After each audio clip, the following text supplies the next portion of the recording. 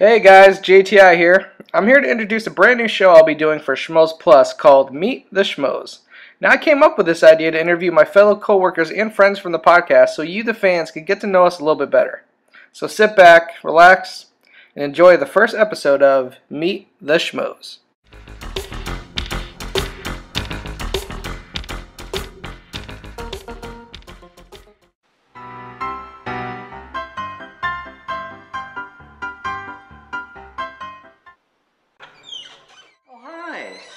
Neighbor. This is uh, this is my house. This is my dog. Say hello, Cal. Yeah, Cal, get back here. Over here. Don't just calm down. This doesn't have to be a big deal. You walk into my place. It is geek central. It is a man cave. This is by design. I love it. I framed my favorite movies: Raiders of the Lost Ark. Over there, you can see Empire Strikes Back, Star Wars. Over here, you can see this is an artist I found at one of the cons. I can't remember which, but um, the guy basically does scenes from movies in the form of a children's book. So, which I love. So I have Alien and Big Lebowski, two of my favorites. I just love the the you know the the the writing here. You said it, man. Nobody fucks with the Jesus. Said the Jesus. That's very kids' books to me. I thought it was a nice, interesting art that nobody has. So I found this one at an art gallery in San Francisco, and uh, it's of course Superman. It's this guy does pictures of um, famous people, and of course it's Superman. So I'm gonna do that.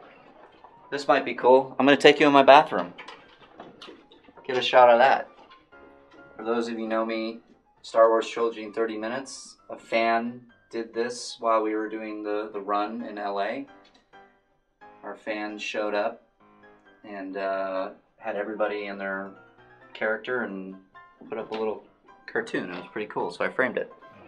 Um, this is by far my favorite. This is a ET poster. Mondo does special prints of uh, posters that release them, and uh, of course they had ET, and it's my favorite movie.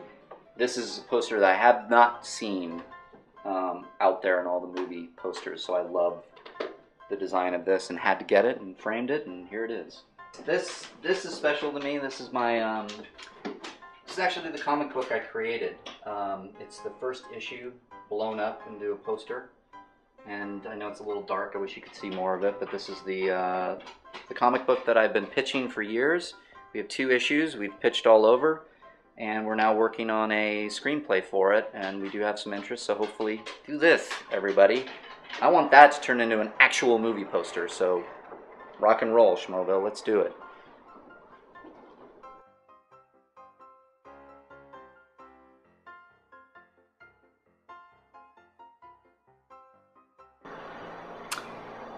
I have known Christian since 2000, 2001.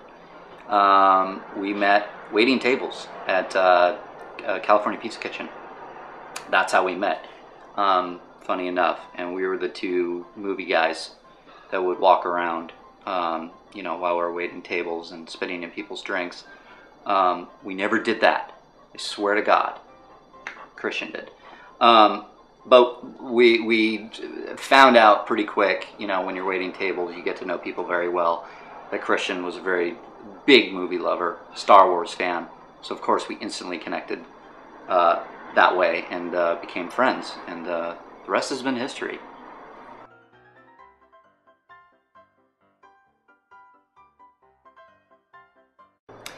I want to be able to have a team of people that are out there uh, at all the big events, premieres, junkets, panels, Comic Con, any kind of con. Um, I'd love to have an army of these guys that are out there getting the news, getting the scoops, um, and taking it to schmoesknow.com. Um, right now, you know, we're at the, the start of this. You know, we have some really great writers. Um, we're doing the best we can to get the news out there as fast as possible. Um, but I look at some of the bigger sites out there and I go, that's what Schmoes can become. Not only having everything podcast, the YouTube video reviews, but having very talented writers that will not only post news, but I'd love special articles. I'd love opinion pieces. I'd love to have content being posted 24 hours a day so that our audience can come in and not only get the latest Johnny Depp wearing eyeliner part, um, but I also want them to be able to sit down and read a nice article about, like, say, Matt Key doing his Doctor Strange article, or a Reilly Roundtable that I would post talking about Star Wars, or, you know, different articles like that, because I feel like you can get news wherever. Um, what schmoes know that we want to do is the news is coming from guys that are passionate, that have a voice, that have an opinion on the news in general.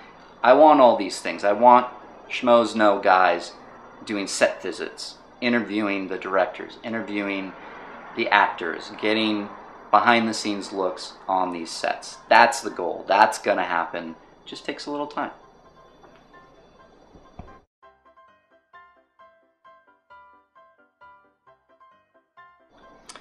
Uh, favorite moment on the podcast? I have a lot. Um, uh, but I will say, uh, two jump to mind for me. One was when I did my Gremlins prequel pitch. I thought that was a lot of fun.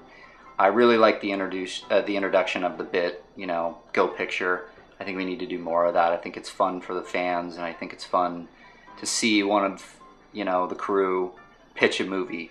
Whether it's a serious pitch, like I actually worked on a Gremlins script, so the the pitch was kind of an extension of that, which was fun. Um, but then on the flip side of that, I loved it when Macuga goes in and pitches his fucking train wreck of a movie. I thought that was great, and I think the fans enjoyed it. And so for me, that was a really fun time uh, for me being like really a part of it. Um, but over the time, as as the podcast has gone on, I really love these celebrity impressions, and um, I have a lot of fun. I like to think I'm pretty good, and uh, and so my ego was nice and stroked the night I did Sean Connery. And that was a lot of fun because I just loved people's reactions to my Sean Connery. Um, and then I loved the, uh, the kind of the controversy at the end when Macuga won that still every once in a while pops up on Twitter like you were robbed, Reilly. I, I love that. That was that was a lot of fun. But in general, I mean, I know this is gonna sound terrible or crazy, but every podcast is fun. Every podcast becomes my favorite because it just it always reminds me at the end of the week or Thursday that uh, we're doing something pretty special. So, yeah.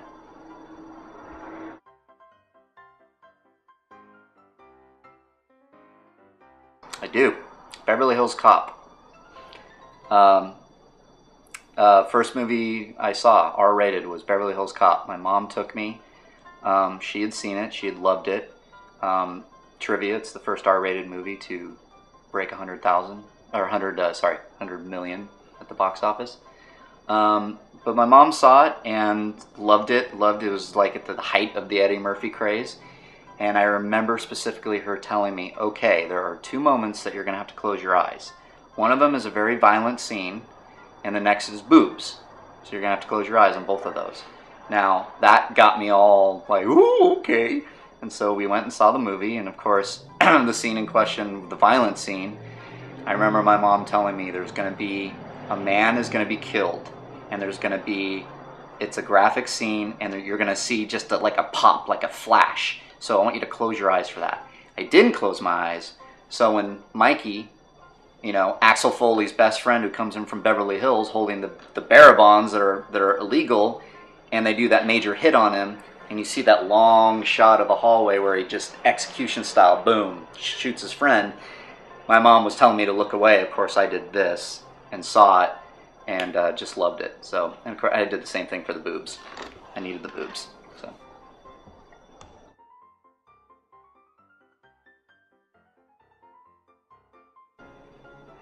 Luke Skywalker.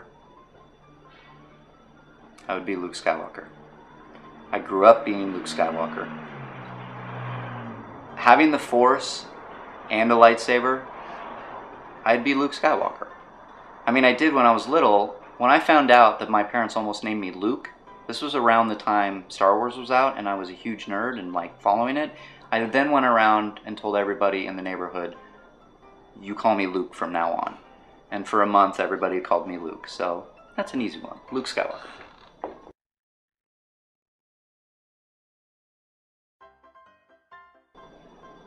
That's a good question. I- am just gonna go. Two names popped into my mind: Jack Lemmon and Heath Ledger. Uh, I I remember when Jack Lemmon passed away. I was in Paris at the time, and I just remember crying because it's Jack Lemmon. So for some reason, he popped in my head. I don't think there's a big audience wanting Jack Lemmon back, so casting him something. So I'll go with Heath Ledger. I think that um, I would cast Heath Ledger as the Joker again, and I would make a spin off movie about him, about the Joker and what he did when he got to Arkham. Why the hell not? That sounds cool.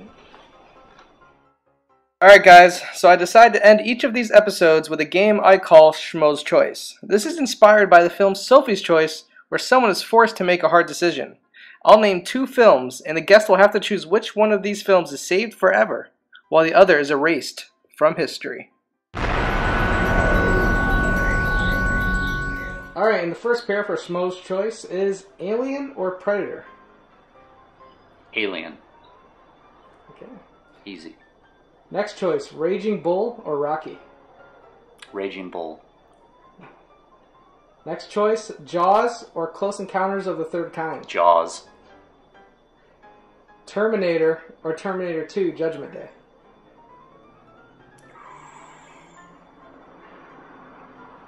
Gonna go with the original Terminator. Back to the Future or Ghostbusters? Oh, kill me. Take that from my heart. Oh, well, I'm just gonna stick with it's one of my top favorites, Ghostbusters. Sad to say. LA Confidential or The Untouchables? LA Confidential.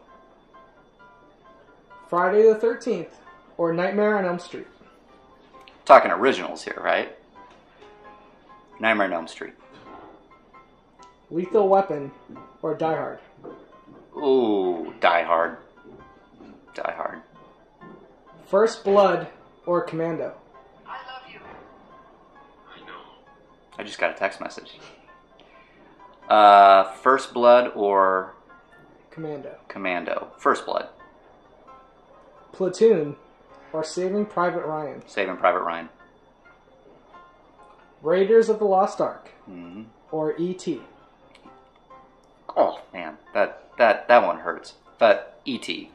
It's my favorite. Beetlejuice or Edward Scissorhands? Beetlejuice. Scarface or Goodfellas? Goodfellas. Great. The Breakfast Club or Ferris Bueller's Day Off? Oh, Ferris Bueller's Day Off. The Sixth Sense or Unbreakable? Unbreakable. Love that movie. The Exorcist or The Shining? Exorcist. Ghost or Roadhouse? Roadhouse. Oh yes. The Godfather or Shawshank Redemption? That's that's a killing a baby right there. Godfather. Star Wars Episode 4 A New Hope or Superman the movie? Evil. Evil, evil person. Star Wars.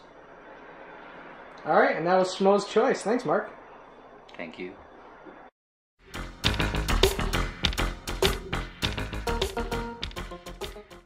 I have a pretty cool trick with my dog Cal. Watch. Cal. Squirrel. Squirrel. Squirrel. Squirrel. Where is it? Squirrel. Go get the squirrel. Cal, come here. Cal. Squirrel, squirrel, squirrel, squirrel. He's wondering where the squirrel is. This can be either be determined as bad or preparation for the zombie apocalypse. Because if zombies do attack, I'm just going to say squirrel, and the rest will be taken care of.